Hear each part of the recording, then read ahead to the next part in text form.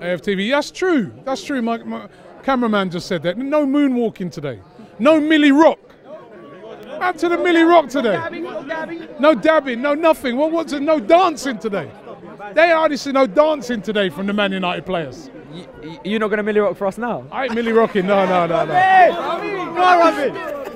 I ain't Milly rocking. Well, listen, fantastic performance today.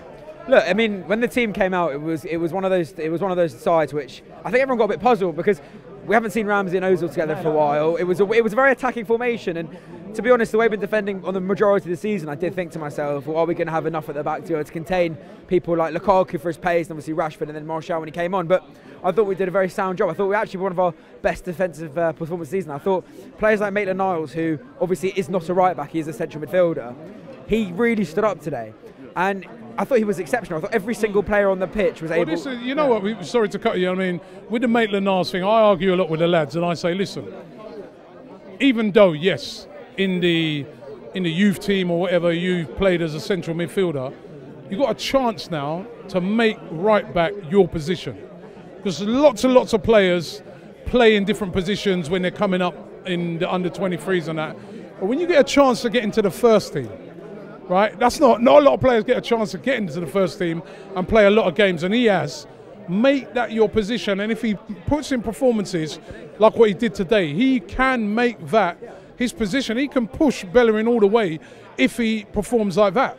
I mean, to be fair as well, one thing that's that's valuable with football right now is having a player that's very versatile and can play in a variety of roles. And correct me if I'm wrong, because this might be, but I think Dalot at United is a bit like that. He can play on Yeah. the wing, he can play at defence, and that sort of play is pivotal, especially for a squad player. Because one place we've struggled this season is we've had our starting eleven when fully fit is a strong one, but obviously injuries have cost us and made us dip in form and whatnot. People like Holding and Bellerin for long-term injuries. But having those squad players mean that you have more resilience in your side. And that's one thing which I do think we do need to build upon. But players like Niles, by giving them that consistent game run and getting him to learn how to play compared to where he was last season, playing more of a bit part, is essential for his growth as well. So yes, become a potential.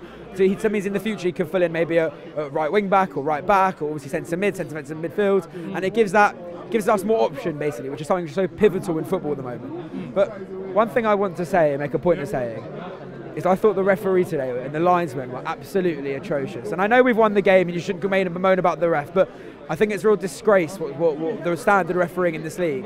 And it what was shown in the A beginning. penalty? No, I ain't seen it back. Was it a penalty? I got to be honest, I, I, I don't think it was.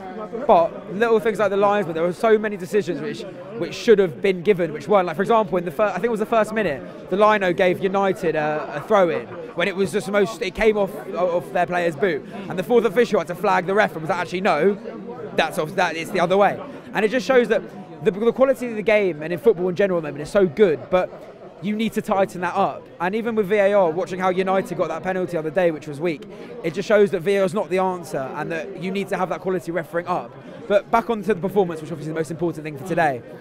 We shouldn't get our hopes up and say we're going to get top four, we're going to do this because.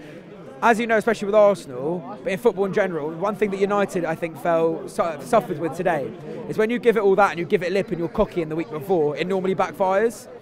And I think it's fair to say, rather than going on, we're going to go at top four. We've got still got some hard games. Yes, we may not have the big six, but look at Wolves. They went one 0 up at, away at um, Chelsea. Today. They've got a lot. There was Chelsea got like a late goal, but that'll be a difficult away game. Everton away, notoriously by last season, is a hard away ground for us to go to.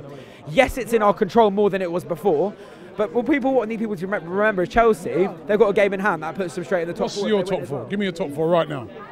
In no particular order. In the order. Give me your top four. I don't like. I, in no In particular order, top four. On the spot, pressure. Liverpool, Liverpool City, and then I, and then us United third and fourth in no order.